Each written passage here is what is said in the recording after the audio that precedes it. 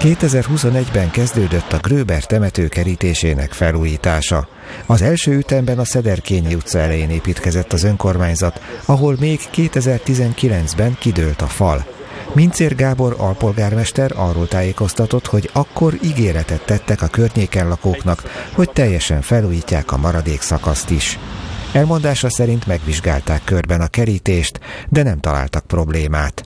Időközben azonban a Reiner Károly utcai oldalon bekövetkezett egy omlás, ezt akkor egy Viszmajor pályázat keretében kiavították.